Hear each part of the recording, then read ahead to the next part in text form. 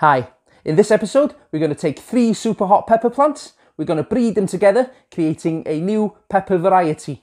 Hopefully this pepper will be even hotter and more colourful than the peppers we started off with. I'm excited, let's do it.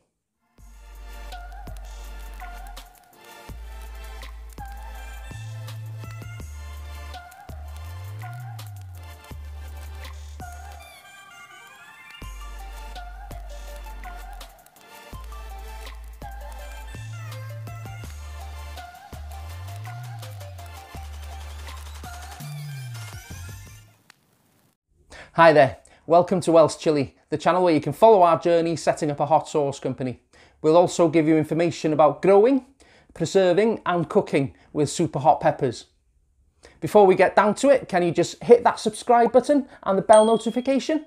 And that'll let YouTube know that you want to see more of our videos. It'll also give you a notification when we release our next one. So essentially what we're going to do here today is we're going to use the Dragon's Breath pepper plant as the host. Uh, that's a very, very hot pepper. And then we're going to try and cross it with two other super hot pepper plants. Um, the first being a Carolina Reaper Yellow, and the second one is a Purple Ghost. So pepper plants are self-pollinating. Uh, what this means is they can pollinate themselves, so they've got both the female and the male parts in a pepper flower. So it contains the ovaries and the pollen. And if you shake a pepper plant, then the pollen will fall onto the stigma, travel down the style, and pollinate the ovule within the ovaries. So we must ensure that no pollen from the plant itself gets onto the stigma before we introduce pollen from another plant onto it. Well, how do we do that, you might think? Well, we have to catch the flower before it opens. Yeah, but if we catch the flower before it opens, how do we get pollen onto the stigma? Well, um, we use one of these. I'll uh, show you how to use one of these later on, but uh, for now, we need to get some pollen off the other two plants. So I'm going to use one of these little test tubes to catch the pollen in. So all you do is you uh, put the test tube underneath the flowers and then uh, you give the flowers a little bit of a tap So I'll do this to a number of flowers until I have enough pollen to work with. There you go, you see the little yellow dust inside the tube there? Well, that's the pollen. Now I'll show you how to breed peppers with that pollen. When attempting to get a good pepper cross, you need to choose a flower that hasn't opened yet, but is nearly there. It's just about to open. Now uh, this one right here is a good candidate. So I'll uh, pop the little diagram up again and tell you what I'm going to do. So first I'm going to remove all the petals and then underneath the petals you'll see the stamen and connected to the stamen you've got the anthers. Now this is where the pollen is created. So to stop the plants from pollinating the chili pepper itself, we're going to remove all of these so that we only have the stigma left. So let's go ahead and do that. I'm going to use my little trusty scissors and pull all these petals off. Right, so I've removed the petals and um, as you can see in there uh, is the stamen with anthers on it. And um, we want to remove these but being careful about the middle part in there.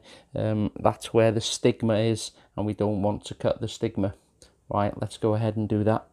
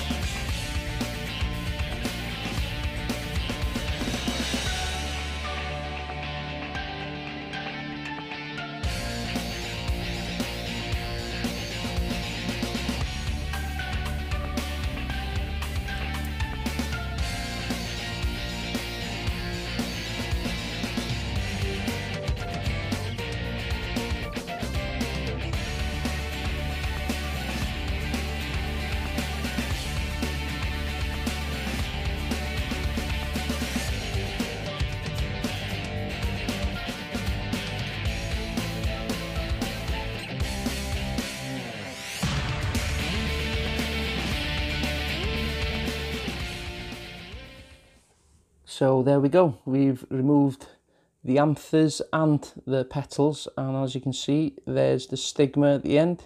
So what we need to do is uh, take a q-tip or an earbud like this and dip it in the pollen and then rub the pollen on the end of this little stigma here. Okay, so I've loaded my q-tip up with pollen and now I'm just going to rub it on the end of the anther here. You only need a little bit. Now the next step we take to make sure that no other pollen gets to that pepper and it's only the pollen that we've put onto it that pollinates it is we stick a little bag on it. So um, the pollen we just used was from a ghost chili and it was a purple ghost. So I've marked this bag here with uh, DB for Dragon's Breath, Cross, and then PG for Purple Ghost. So all we do is we pop that bag over the pepper, flower like this, and then uh, we seal it up on both sides. So that's all there is to it. And um, what I'll do is I'll do uh, about three to four flowers with each uh, cross pollination. So I'll take pollen from the yellow Carolina Reaper and I'll pollinate three of them and uh, do the same, cover them with bags and I'll do three of the purple ghost as well. So if you were a little bit worried before you saw this video about how to cross peppers, I hope now that you've learnt a little bit, you're a little bit more relaxed. I can't wait to see how the pepper cross turns out. Hopefully it's multicoloured and it should be super hot. So that's it for this video. I hope you've enjoyed it. If you have, can you just hit that like button? And that'll let YouTube know that you want to see more videos like this. And if you were creating a new pepper variety, which chili peppers would you cross? Would it be a super hot pepper with a sweet pepper or would you go down the same route as me and cross a super hot with another super hot? I'd love to know which varieties you'd cross as well. So um, can you just give me a little comment down below and uh, let me know how you'd go about crossing your peppers. So we'll see you on the next video. But remember, if you're going to go hot, go super hot.